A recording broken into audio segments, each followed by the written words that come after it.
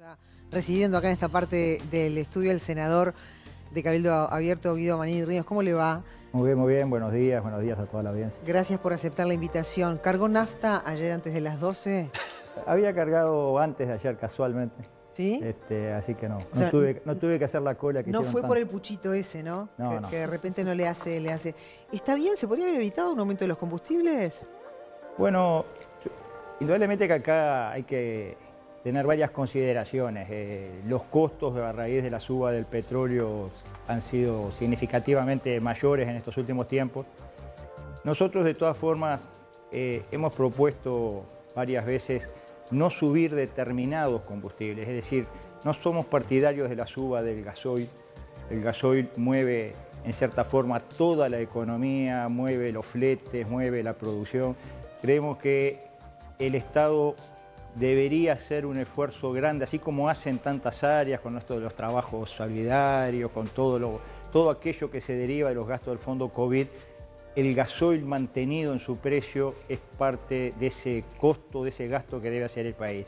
Y también no somos partidarios de la suba del supergas en este momento eh, a la entrada del invierno y que le afecta principalmente a todos los sectores más frágiles de la economía. Nosotros habíamos propuesto mantener gasoil y supergas en los precios en que estaban, pero indudablemente que hay una ecuación económica que va complicando cada vez más los números de ANCAP y de, bueno, eh, que de cierta forma hay que atenderlo, ya había un, un periodo muy largo desde, Ajá. la última- desde el último momento de los Sí, combustibles. ahora la fórmula esta que está planteando, planteando FANCAP, recién conversábamos que se podía de repente bajar el IMESI, bajar el IVA y, y- y de repente ese agujero llenarlo con un aumento del IRA y del impuesto al patrimonio a, a los que son medallita de oro, decía por ahí este, este, eh, Rodríguez refiriéndose a las clases más altas y pudientes de este país. Sí, es, es- es parte de lo que decíamos, renuncia fiscal en definitiva, o sea, eh, o de otra manera... ¿Pero Cabildo eh, tiene una fórmula en ese sentido? Nosotros hemos propuesto eh, eh, que los combustibles, digamos, acá se aplica el, precio de paridad de importación, que incluso va a haber ajustes más seguidos por, ese precio, pero indudablemente que mientras eh, haya que sumarle ese precio la tremenda carga impositiva que tienen los combustibles, que haya que sumar eh, otro tipo de, de fideicomisos, de tasas, etcétera, que, a las cuales están sujetos los combustibles, no se puede bajar los precios. Acá, para bajar los precios de los combustibles o, o no subirlos, que es lo mismo que bajarlos en el tiempo, eh, se debe renunciar fiscalmente, renunciar a cobrar impuestos. Eso en este momento, en esta coyuntura en la cual estamos viviendo los uruguayos, yo creo que es necesario que sea como parte de los aportes del fondo COVID esa renuncia a determinado porcentaje de los impuestos. Ajá, y tocar a los que más tienen y no producen, ¿no? Bueno, indudablemente que siempre es deseable aquella famosa eh, frase que pague más el que tiene más, que siempre se, se hizo, digamos, muy, muy usada en, en su momento, pero que terminó siendo que pague más el que trabaja más. Ajá. Es decir, en realidad se desvirtuó eso. ¿Se y está, bueno. se está faltando una promesa de campaña, Y eso te iba a preguntar. ¿Se está faltando a una promesa de campaña? Juraron que no iban a subir los nada. Bueno, este, hay que Sí. hablar en términos reales y yo digo que siempre en la política lo que manda es la realidad. Eh, digamos, subir los precios sería eh, subir los márgenes, subir, pero mantener una ecuación para que se pueda sostener económicamente digamos, las reparticiones involucradas en el tema, no es en los hechos subir realmente. Pero vuelvo a repetir, en el tema gasoil, en el tema supergas, hay, tienen que haber políticas como las que hay para otras cosas del fondo COVID, como por ejemplo esto de los trabajos solidarios, etcétera. Creo que ese esfuerzo hay que hacerlo y mantener el gasoil y el supergas en sus precios, es decir, bajarlos en términos reales. ¿Y hay intención por parte del gobierno? Bueno, este, indudablemente las propuestas están, pero a veces se mira otros aspectos y se- las decisiones que se toman no son las que nosotros eh, queremos o proponemos. ¿Y cómo está la relación con, con el gobierno, con el presidente, con los blancos básicamente, ¿no? En las últimas horas ha habido, en las últimas semanas, la interpelación allí, un cortocircuito, se amenazó ahí con de repente este no, acompañó las, explicaciones de la ministra en su momento, sorprendió esto a, la interna de la coalición multicolor, el tema de la ley de medios, hay, un montón de cuestiones ahora que hacen al debate parlamentario en lo que uno puede percibir ciertas diferencias yo creo que no hay que magnificar las diferencias, hay que ver también, o sea, no ver solamente el medio vaso vacío, hay que ver el medio vaso lleno, hay que ver todas aquellas cosas en las cuales Cabildo Abierto está eh, apoyando, colaborando, aportando ideas, aportando capacidades. Nosotros eh, claramente somos un partido diferente, nosotros no somos el furgón de cola de un partido más grande, somos un partido diferente, la gente eh, cuando votó a Cabildo Abierto, votó algo diferente, no votó blanco, no votó colorado, por algo lo hizo. Y nosotros tenemos todo nuestro derecho a expresar nuestras ideas y si eso genera, como usted dice, cortocircuitos, a veces es por la reacción yo creo que fuera de lugar a veces de algunos ¿Por qué con un efecto sorpresa? Porque de repente se puede avisar como reclama, bueno, ¿y por qué no, no, nos cuentan antes cuál es el, si vamos a no avisar, este, yo creo que tampoco somos avisados de la gran mayoría de las iniciativas, de cosas que hacen otros socios de la coalición. ¿Cuáles, por ejemplo? de repente hay proyectos de ley que nosotros no fuimos avisados en su momento y fueron presentados. ¿Cuáles? Desde la eutanasia, que fue el primero, hasta varios que se han sucedido, a nosotros no nos consultan, no tienen por qué consultarnos, van presentes y nosotros cuando queremos presentar un proyecto de ley lo presentamos. A veces se habla previamente con las demás bancadas, a veces no, pero eso es parte de la dinámica parlamentaria. El propio Sebastián Cal, diputado suyo, dijo que no, no nos van a obligar a decir lo que tenemos que votar o lo que tenemos que decir, lo cual es bastante lícito, pero no acompaña la política como ese juego político de, de este país, ¿no? Donde hay una coalición, donde vos me acompañás, vos me seguís, yo después te acompañás vos. Parece que hay una pateada del tablero en ese sentido. No, no, eh, se está magnificando mucho acá. Hay mucha gente que quiere ver fisuras más grandes de las que pueda haber, diferencias más grandes. Pero hay.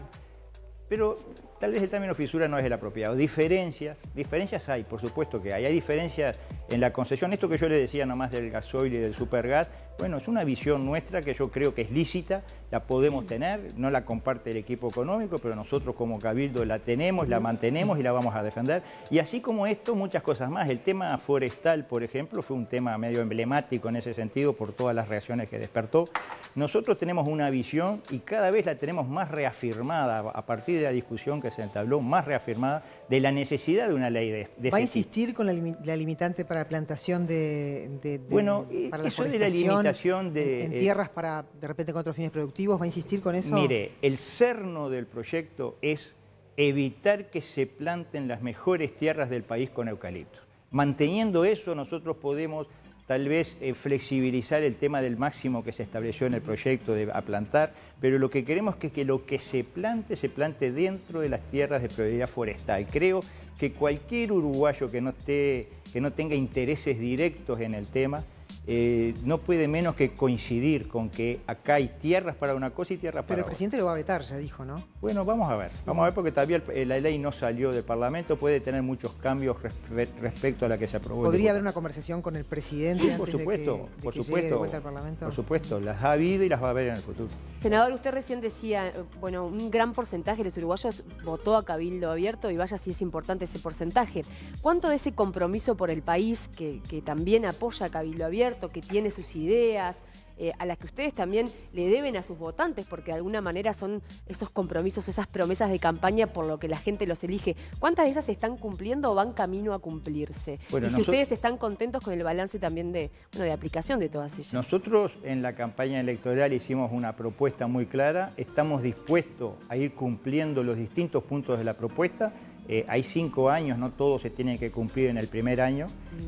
Y también durante la campaña, ya después de octubre y de cara al balotaje, firmamos un documento que se llama Compromiso por el País, que también nos obliga, porque con ese documento le pedimos el voto en el balotaje para el doctor Lacalle. Entonces, ese documento lo vamos a cumplir, lo estamos cumpliendo a rajatabla y lo vamos a cumplir, pero las propuestas que hicimos en su momento las estamos eh, transformando en proyectos, proyectos de ley, a veces no requiere, el, proyecto de ley requiere simplemente coordinaciones y aportes y que se decida en otros ámbitos. Y de ese compromiso por el país, ¿cuáles son las prioridades de Cabildo Abierto? ¿Se están atendiendo esas prioridades? No, el compromiso por el país en cierta forma está reflejado en las distintas leyes que en conjunto el gobierno, es decir, el Poder Ejecutivo, las bancadas del Partido Nacional, Colorado y nosotros estamos proponiendo en distintas leyes. La ley de urgente consideración tenía mucho de ese compromiso, la ley de presupuesto, las leyes que se están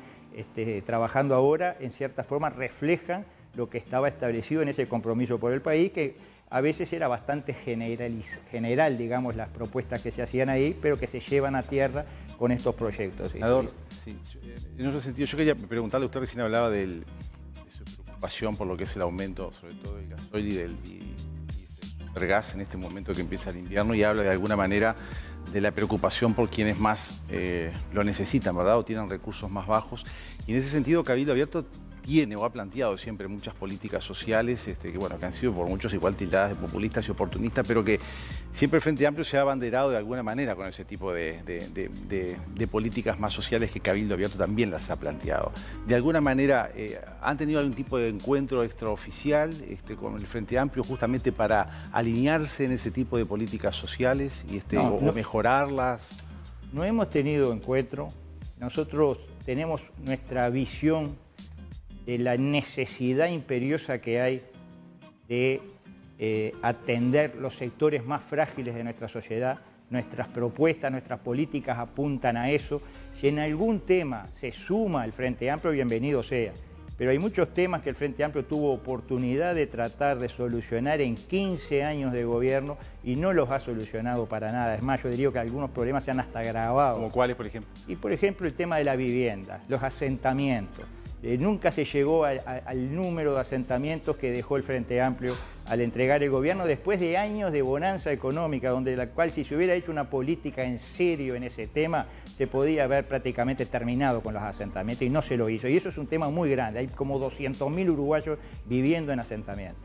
Y, puede haber otros ejemplos más. el, tema de dejar a los más frágiles, a los ciudadanos de a pie, a los que no tienen recursos o forma de conseguir créditos en otro, dejarlo en manos de financieras inescrupulosas que cobran intereses de usura en este país con el aval del Banco Central, de las autoridades económicas, que durante 15 años generaron que hoy haya decenas de miles de uruguayos en un endeudamiento del cual no pueden salir. Nosotros vamos a entrarle ese tema también. Le quiero decir que la preocupación por los más frágiles nosotros no le cedemos la derecha a nadie y por más frente amplio y que lo tengan en sus discursos, en la práctica no demostraron tanta preocupación por los más frágiles. Hablando de los más frágiles, ¿no? usted ha planteado en las últimas horas, a, propósito de los este, jornales solidarios, que otras instituciones del Estado también participen, abrir la cancha para que haya este, más beneficiarios ¿no? y, aumentando, digamos, la, inversión que se saca del fondo este coronavirus. Y habló de las Fuerzas Armadas.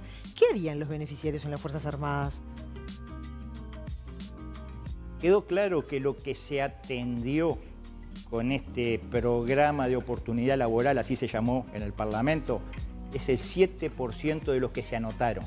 O sea que quedó un 93% a los que no se los pudo atender porque 15.000 era un número muy chico, muy escaso. Entonces nosotros lo que hemos propuesto, pero esto lo dijimos en la propia discusión parlamentaria cuando votamos el programa, dijimos tal vez haya que duplicar o triplicar este programa. Estamos hablando de una solución de emergencia por estos meses que son los más duros, los que se vienen, los meses de invierno, los meses en los cuales todavía estamos sumidos en, lo peor de la crisis económica derivada de toda esta situación, esperando el ansiado rebote de la economía. Bueno, nosotros decimos, acá hay que eh, replicar un segundo plan eh, eh, o programa de oportunidad laboral. Y decimos, como las intendencias han mostrado ciertos problemas para implementar el trabajo, porque estos primeros 15.000 se le dieron a las intendencias, y hay que formar cuadrillas, darle herramientas, capataces, etcétera, etcétera. No es tan fácil, no es decirle tome mil y que trabajen, hay que tener este, toda una infraestructura, decimos, ¿por qué no a otras instituciones del Estado? ¿Por qué no a la ANEP, que está pidiendo auxiliares a roletes para limpieza, etcétera, etcétera? ¿Por qué no a ACE? ¿Por qué no a las Fuerzas Armadas? Las Fuerzas Armadas que cumplen un papel social tremendo, un papel de formación que se les puede dar eh, vacantes interinas, vacantes hasta determinado momento y después empiezan, esas vacantes se devuelven rápidamente hasta volver a los niveles actuales, o sea que no, permanente, pero en este momento de emergencia. Cada unidad militar tiene decenas y decenas de anotados que quieren ingresar y no pueden porque no hay vacantes. Basta darle las vacantes, en 24 horas eh, eh, se saca de la desocupación a mil, dos mil, tres mil. Es el seguro de, es el seguro de paro, este, opera como seguro de paro. Bueno, eh, y, pero aparte cumplen funciones necesarias y están tremendamente recargadas a partir de las nuevas misiones que se le han dado en los últimos tiempos. Nosotros habíamos estudiado cuando yo estaba en actividad que había que un soldado cumplía más de 70 horas semanales. Ahora se le han dado nuevas misiones. En la Comisión de Defensa la semana pasada, que compareció el ministro y los comandantes, uno de los comandantes hizo, mostró eh, los números que él tenía. Más de 80 horas semanales cumple un soldado hoy. 80 horas semanales significa los 7 días de la semana, 12 horas diarias en promedio. ¿no? Tendrán el domingo libre y trabajarán más de 12 horas los demás días. Esa es la realidad estamos viendo todo. Bueno, eso es justo, y si, tenemos justamente que implementar un plan de esto, ¿por qué no darle ¿Lo planteó oficialmente eso? ¿Lo planteó al presidente de la República? Por supuesto que sí. Pues, antes de decirlo públicamente, yo lo planteé al presidente. que lo iba a analizar, que lo iba a analizar. y, la otra vez, cuando nos reunimos en Torre Ejecutiva, la Comisión de Seguimiento del COVID, lo volví a plantear de que hay que crear un nuevo fondo de esto, un nuevo programa de, oportunidad laboral. Ajá, y la Comisión Especial esta del COVID que eh, eh, termina hoy su trabajo, ¿no? Hasta donde se ha informado, eh, ¿sirvió para algo? ¿Usted va a pedir que la aplacen? Porque Cabildo va a pedir una prórroga del, funcionamiento de esa comisión. Bueno, nosotros desde el primer momento dijimos que ya estaba toda la institucionalidad necesaria para el seguimiento del COVID, como que esta comisión no era especialmente necesaria, pero se insistió, bueno, la votamos Creo que sirvió porque en esa comisión recibimos al ministro, recibimos al GACH, recibimos a las distintas partes, sindicato médico, FEMI, todos fueron recibidos, escuchados y todos tenemos bien claro cuál es la realidad, que ya lo sabíamos de antes, bueno, pero quedó bien claro y acá lo que, cada partido hizo sus propuestas, eh, indudablemente que hay propuestas que... Pero no hubo acuerdo. No, hubo acuerdo en, algunas propuestas, tal vez las más, las más sonadas, digamos, pero hubo varias... ¿En qué hubo acuerdo? Y bueno, eh, de, tratamiento de embarazadas, eh, hubo acuerdo y ahora, último momento, hubo un retiro de la, de la oposición en hacer una campaña donde todos los partidos políticos llamaran a responsabilizar, a la responsabilidad de la gente, eh, eh, hubo algunos acuerdos, pero indudablemente que en el grueso, si usted me dice cuál fue la utilidad de esa comisión hasta el momento, eh, digamos, no justificó. ¿Que la oposición no quiso hacer una campaña conjunta con todos los partidos políticos? Sí, sí, nosotros apoyamos eso. No, la oposición, digo. Usted dijo que la oposición. La oposición, bueno, algo que parece tan simple, tan sencillo, tan lógico, a último momento la oposición dijo que no va a participar en esa campaña. Ahí está. Eh, senador, este martes se vota la, moción para interpelar justamente al ministro Salinas y a la ministra Arbeleche. ¿Cuál es la mirada de Cabildo Abierto en referencia a esto? Y yo creo que hay cierta mezquindad política buscando sacar réditos en estos momentos tan difíciles que está viviendo la sociedad. Es indudable que le van a preguntar por enésima vez lo que por enésima vez ya han contestado y han dicho y se va a distraer a los dos ministros que, si vamos al caso, hoy están en la primera línea, en los lugares más, eh, tal vez de más sensibilidad en esta lucha, en, esta pandemia, se los va a distraer nuevamente este, y yo creo que simplemente para buscar arrimar agua para un molino político, que yo creo que acá lo que está faltando es cierta grandeza de tratar de decir, bueno, vamos todos juntos a ver cómo podemos mejorar esto, vamos a, hacer una campaña casa por casa, barrio por barrio, a todo el mundo, para que se queden eh, en casa cuando sea necesario, cuando no sea imprescindible la salida, sensibilizar a la gente, volver a la conducta que tuvimos hace un año. Y para eso se precisa activamente a todos los partidos políticos. ¿El Ejecutivo debería darle más entrada al Frente Amplio en esa mesa de diálogo más participativa que ellos reclaman? El Ejecutivo le da entrada. Lo recibió el presidente de la República a los senadores del Frente Amplio que integran esta comisión. Ha tenido conversaciones, eh, digamos, con los intendentes del Frente Amplio. Eh, no es que no haya entrada, lo que pasa es que a veces los planteos que se hacen son de, una naturaleza tal que no, no pueden ser implementados por el Poder Ejecutivo. Acá eh, se habla de cerrar, de, bajar la llave, de, de cerrar totalmente las actividades. Bueno, entonces ahí vamos, ¿qué actividades cerramos? Y ahí empiezan, bueno, sí, los gimnasios, bárbaro, eh, los shopping. Nada de eso comprueba que vaya a bajar el número de contagios porque se baja en esos lugares donde realmente se respetan los protocolos como en pocos lugares. Pero, ¿y ahí, y las ferias? No, no, las ferias no. Bueno, pero entonces no hay una incoherencia. Entonces, en definitiva, la propuesta es más para la tribuna que en lo concreto, que en lo real, y es de muy dudoso efecto.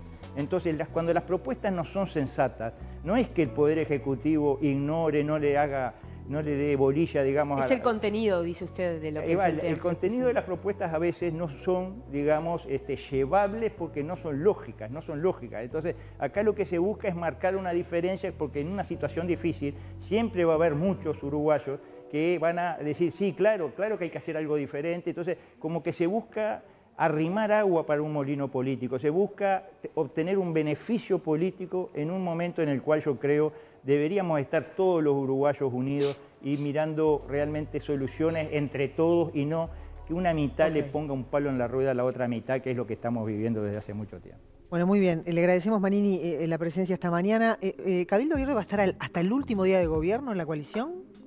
Mire, eh, la política es muy dinámica. Si usted me dice si en nuestra previsión no tenemos ningún cronograma de salida.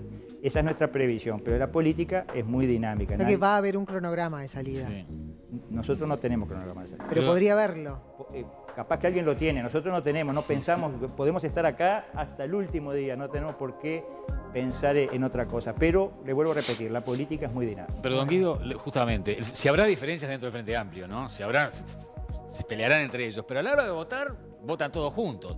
No es la, el modus operandi de Cabildo hay diferencias y a la hora de votar votan lo que, lo que les parece a ellos. ¿Por qué, por qué esa política en grandes temas Cabildo ha votado como un bloque? Ha habido alguna instancia en que algún diputado votó algo diferente, pero en general votamos como un bloque y hasta ahora en las leyes fundamentales hemos acompañado como corresponde al resto de la coalición, ley de urgente consideración, ley de presupuesto y habrá muchas leyes más que en las cuales vamos a dar nuestros aportes. Pero eh, vuelvo a repetir, nosotros tenemos eh, una impronta diferente y tenemos, eh, digamos, algunas visiones diferentes dentro del propio partido, o sea, no es algo monolítico, pero siempre con, en, la esencia sí todos coincidimos. ¿Y con, el, con el GACH coincide, coincide este, con, el presidente de la República en, bueno, en la, mirada que tiene sobre el aporte del GACH a, la pandemia? Que parece haber un divorcio. ¿O está más del lado de, lo que opinan algunas voces científicas en cuanto a que no se les está escuchando? Yo creo que el este, GACH ha hecho un aporte muy bueno, muy importante, reconocido por todos y realmente ha sido una de las grandes cosas que se han implementado pero como lo dice su propia definición, es un grupo asesor, ¿no? El asesor asesora, no decide. Entonces, eh, asesoró el presidente o el Poder Ejecutivo o el gobierno tomó de ese asesoramiento las cosas que entendió que eran eh, buenas para el país y las cosas que entendió que por otro lado generaban ciertos perjuicios no los tomó, pero no quiere decir que no lo haya escuchado. O sea que hay un respaldo de Cabildo Abierto a la gestión del presidente de la República en este sentido. Por supuesto que sí, eh, eh, hay, hay, un respaldo a la gestión que se ha hecho desde el principio de la pandemia y creo yo que lo que se está buscando es mantener los grandes equilibrios para que los daños de esta pandemia no sean aún mayores de lo que van a terminar siendo. Muchas gracias por venir, en serio. ¿eh? Gracias a ustedes y a las órdenes. Claro que sí.